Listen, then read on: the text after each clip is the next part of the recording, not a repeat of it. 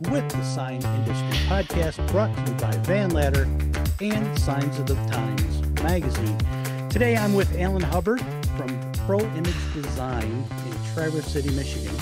And we're going to talk to him about uh, how he got into the sign industry, what he likes about the sign industry, how he's grown, and what's coming up possibly. So, Alan, welcome to the show. How are you? Doing great. Thanks for having me. Yeah, no problem. Hey, I I've been cruising through your website. Um, for those of you that want it, it's uh proimagedesign.net. Inc. proimagedesigninc.net. Um, you've got some really great looking pieces up there. Those are really impressive. Um, Thank you. You've you've come. How how did you get into the sign industry? Let's start there. I I know a little bit about it because I read the about section. Um, but from your from your advantage point, from your viewpoint, what how'd you get into the sign industry? I guess it was probably a lot by um, almost kind of by accident. I always, as a kid, always um, had a pretty good um, talent for drawing, natural talent, skill for that, um, painting, stuff like that. And I was always intrigued by. Uh, um, my dad had race cars growing up in a trucking company, and the guys would come over and, and paint the trucks. And I always um, had an interest in that and thought that it was that it was pretty cool. Mm-hmm. And uh, um, with my dad having race cars, he had plenty of uh, banged up fenders for me to practice on. So some Rust-Oleum paint and some some brushes from the hobby store. Uh-huh. Kind of got into it and uh, pretty much self-taught myself all the way um, through a lot of where we're at today. Yeah, it's yeah. big learning curve, but you For sure. But those mistakes that you made along the way, you've learned a lot, I'm sure. So yeah, you moved into you got the bug obviously. And um how where'd you start the business out at? I mean did you start in your garage your basement you know? Yeah so it was it was kind of a basement thing. Um i was i was early 20s and uh um, lettering trucks. Uh bought my first gerber 4b um sold a snowmobile to get some down payment money and leased it to uh, to be hilarious. able to cut some vinyl letters, and uh, I'll never I'll never lease equipment again. I learned that one right away. But yeah, uh, but uh, yeah, that's kind of how I got into it. Uh, just lettering trucks for people, and people need things done, and I guess not afraid to be in, saying no and going for it. Yeah, it as sign guys, we find ourselves a lot saying, "Yeah, I can do that." And then mm-hmm. you're like how am i going to do that? So, yeah it makes for lots of sleepless nights. Yeah yeah it does. So what what did you do to um, take that next step? What did you notice was happening with what you were doing to to grow and take that next step? Was it your design work? Was it your customer service? What what was it? Yeah so i, I think a lot of it was when i started out doing it it was a, a side job for me. Mm-hmm. um, uh, worked at a um, cement plant uh, delivering blocks with a crane truck, so I got some crane experience right away. uh, and then uh, worked in excavating and um, did the stuff on the side. Uh, then got to a point um, just a few years into it that that um, frustrated at work and decided, you know what, I might as well make a go of this. And uh, about the time my wife and I got married 25 years ago, and uh, and started doing, you know, making it happen full time. Um, first couple years were pretty lean. She worked in insurance and helped support what we weren't making, mm-hmm. and uh, um, I guess surrounded myself with some some guys that uh, that knew the industry. Um, one of my best friends is a um, he'd been in the industry and lived just down the road from me to where we moved to over by Traverse City, and uh, my landlord actually actually introduced me to him, and um, he'd been at that time probably 30 years in the sign business, worked by mm-hmm. himself, uh, and he would buy his vinyl cut. So I started cutting vinyl for him, and it gave me, I think, a little bit of comfort level to uh, work with Doug to know, hey, there's another guy here that if I want to take on this project, Doug's got my back. I Yeah. got his back. He's got my back. So uh, that and a welder fabricator, Kenny, who's passed away now, learned a lot from him. Um, just having those guys that you know, whether you can do it or can't do it, but knowing that um, guys got your back and stuff like that. Yeah, that's you learn when you, there's no school that we can go No. to to be sign people. I mean, there's absolutely nothing. It's just you either are born into it because your family is has got a sign business or whatever, or like you or myself, we kind of stumble into it because somebody we watched doing it. We thought, hey, that looks cool.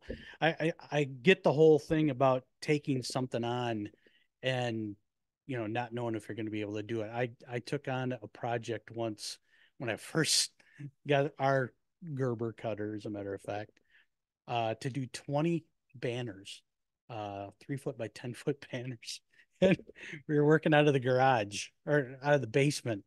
And I actually took all the pictures down from one of the walls and made some, you know, kind of monkeyed around, made some stretch points.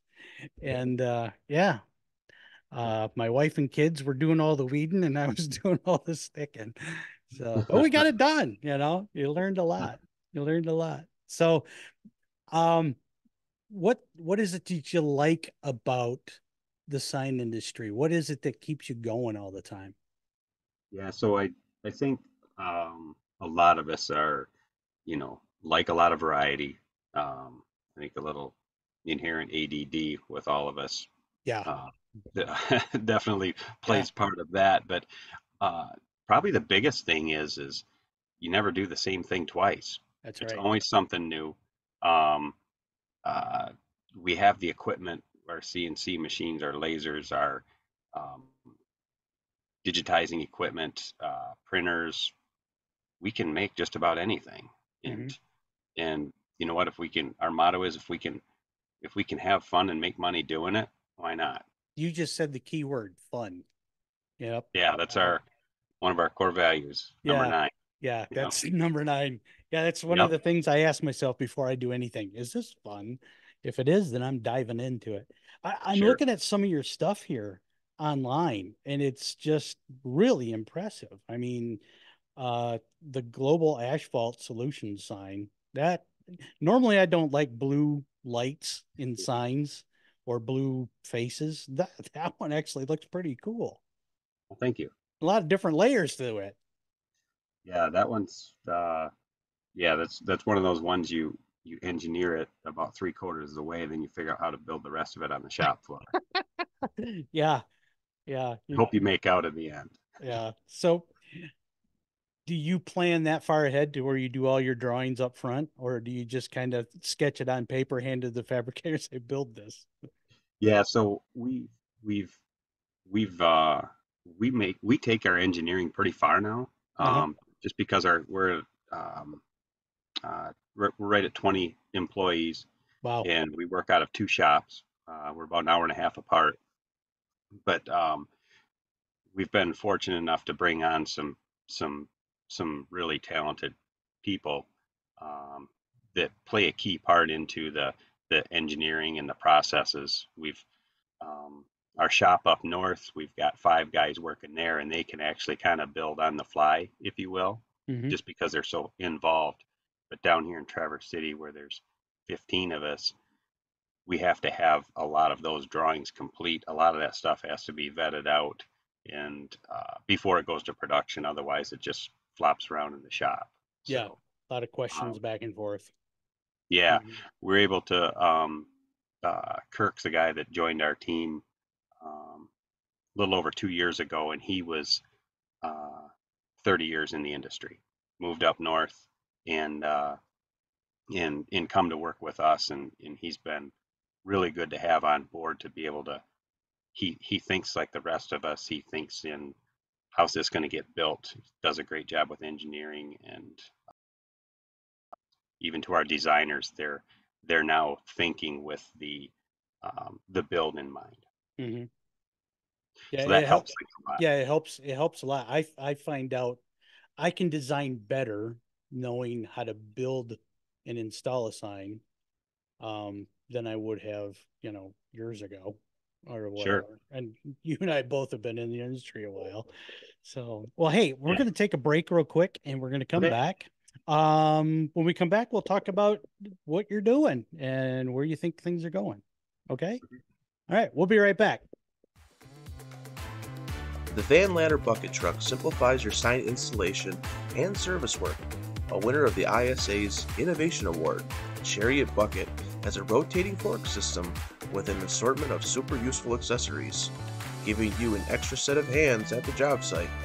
And with six different outside compartments and a huge project area inside, the Workport box is a traveling warehouse. No more running for parts. Finally, all electric van ladder operates without the vehicle running, giving you a quiet day's work without stinky fumes. You can check it out at www.vanladder.com.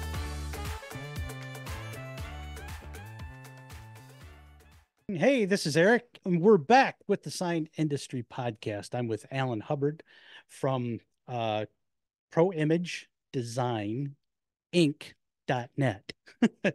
I got it right that time. I have to write stuff down. I you talked about ADHD earlier. I've mm-hmm. got it bad, and so I have to write everything down in order to remember it.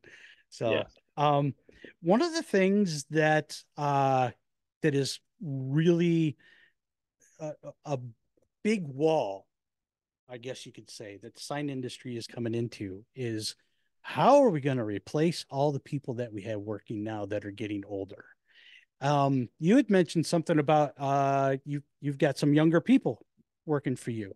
So what what is it that you're doing to attract the younger crowd? Yeah, so a lot of our younger team members, um, I think there's three of them now. Um, they range anywhere from 21 to you know mid 30s, but hmm. we have we've had uh, four interns that have all come to work for us that were either going to engineering school or design school, and um, all four of them have now chose to come work for us because they got they got the they got the bug. They they love yeah they love our culture. They love building things. They like uh, nothing's ever the same, um, and um, it's it's it's great working with that younger um, crowd to see them get excited and for them to have a, um, I guess, showing that passion. Mm-hmm. Yeah, uh, it's it's got... a it's a big issue coming up. Um, I spoke with uh, Mars Bravo out of L.A. Crazy name, I know, but she's got a company uh, that she's got started and she's going along with. And one of the conversations we had is about bringing kids in somehow you know finding the kids that are looking for a job when they get out of high school not necessarily college but high school that have some type of artistic talent but they don't necessarily have the means to go to school or the want to go to school. Maybe school doesn't you know uh, agree with them. Um, those are perfect candidates for the sign industry. Um, so we're we're trying to put some ideas together to get that get that started. You you had mentioned that some of the interns that you had were going to be going on to like engineering or design school. Um, what what is it that hooked them, knowing that this is fun and we have something to do new every day, and I don't have a lot of debt to pay later? Is that that one of the keys? Yeah, I think I think the the younger generation is very cognizant of uh, the the the student debt program. Yeah. Mm-hmm. Um, the and and I don't think they want to be there. I think they look at the trades and what other options there are out there, and and uh, I think they see they see opportunity out there. Uh, some of them actually were had had gone through internships and realized that the field they were going into was really not what they wanted to do. Ah. Uh, and um, and they'd you know worked a couple years here at the shop and decided, you know what, this is this is what, really what I like doing. Mm-hmm. And uh, um, whether they stay here for for uh, a long period of time or they decide that it's that you know, it's another facet of what we do here that they really want to focus on. Mm-hmm. There's, you know, everything from, you know, driving truck to crane operation to welding to engineering to design to um, there's a lot of different things that that you can do at a sign shop uh, and we're just started in the process of developing a um, apprenticeship program Oh, very nice. yeah so we're working with michigan works on that um, developing uh, I think we've got three of them right away uh, that would be like what we call our clean vinyl production Mm-hmm. um, that we do. We got our shop broke into, we call it the clean shop, and then we got the fab shop. Um, and then uh, we got, you know, a sign fabricator um, outline that we're looking at, and then we're also looking at an installer um, uh, program, which would entail, you know, obtaining a CDL, uh, a sign specialist license. Um, uh, we're a UL certified shop, so all of our fabricators have all gone through the UL course. Mhm. Uh, so these are all things that that we've began putting into position descriptions to be able to show them that hey, if you stick with this, this is where you can be in five years, ten years, twenty years, and you know the just because there's not a lot out there about our industry, it's not like you can sit there and go, well, hey, I can make X amount a year working here or there. Mm-hmm. So we can spell that out for them, give them some obtainable goals, and they're helping us put programs together to be able to um, measure progress, evaluate them, and help them grow through the industry. That's that's amazing that you're putting that together. Um, it, that's been the entire thing in the sign industry. How do we get these kids introduced? You know, there's all kinds of stuff out there people are trying, um, and it works here and it works there, but it doesn't work for everybody. Um, Mhm. So there's got to be something. I mean, like the construction trades, they've got the ABC school. You know, they'll hire a labor guy to come in and you know man a shovel um and if it's somebody they want to keep they say hey we've got this school called the abc school where you can go learn how to be a carpenter how to be a welder how to do this how to do that and they take and put these laborers these kids in there and that's how they get them we i we need something like that in the sign industry i think it's i think that would be the key Yeah, I listened to a, a podcast. Um, it was actually Mike Rowe was on it, uh, and he was talking about um, uh, their foundation, and and they were interviewing him on how to. Uh, the same problem they had was from a company who was in the uh, plumbing industry, Mhm. and the in the and the person had mentioned that that their their industry was very light on new people coming in, and that how do we you know engage these new people and and what do we do about our industry being that way? And and he shed a little light on it that it's not just our industry it's every industry right. Yeah. if we look at it from a broad perspective. But he had mentioned you know the more we talk about it the more we leverage social media and engage people into Mhm. that the more we can get their interest. Um, having manufacturing day uh, where they bring kids in we've done that that kind of got interrupted with the covid uh, right. thing. But getting kids in and seeing what we do and having everything set up is is uh, really piques a lot of their interest hmm Yeah, it's it's. I mean, we've got, like you said, you've got guys leaving that have been there for thirty years. They they don't want to work forever. You know, how do you Right. replace? How do you replace somebody with that much experience? I mean, you know, it's nuts. Yeah. Yeah. What what is it that you've got that you're looking forward to doing in the future? What do you got coming up that you're thinking in the back of your head? yeah we're we're uh, we're, we're adding on to one of our shops um, so that we because we're kind of maxed out with uh, the amount of square footage we have now between the two locations so we're adding on to actually our original location um, to be able to uh, run a crew out of that shop it's about 35 miles away and we have a handful of people that all work that originally worked there to begin with Mhm. um, that have interest in working there uh, in kind of giving us a a custom fab shop that we Oh. can take some of the custom projects and not so much the channel letter projects and the the mainstream type stuff. Yeah, the meat and potatoes. Right. Keep that in the other shop or into the other two shops and then focus on some of the custom stuff and you know kind of incubate some projects. Architectural exteriors we're finding is really big. Oh yeah. Um, you know, fabricated um, pergolas, canopies, awnings, um, getting into doing more of storefront design and um, ACM panels. We've done a handful of jobs with that. Uh, just with the restrictive zoning ordinances, it's it's you know your sign can only be so big, but they Yeah. can't make you tell how cool your building can look. And exactly. if you make your building a landmark, people know what you do. It's a good point. That's a good point. Yeah, because signs forever have been landmarks, you know. Hey, Yeah. go go down the road and turn at the Texan cowboy or whatever, you know. Yeah. So- but I would like to have you back sometime, maybe this uh, coming fall or something. We can Certainly. catch up, see where you're at. How's that? That'd be great. All right. Well, sounds good. Uh hey, thank you very much. You get give your give your uh your website address and who you are and let people know what's going on. Sure.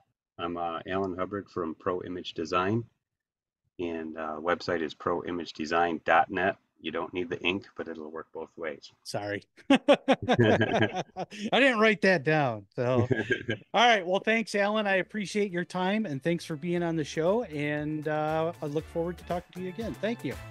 Likewise, Eric. Have right. a great night. Yep. Bye.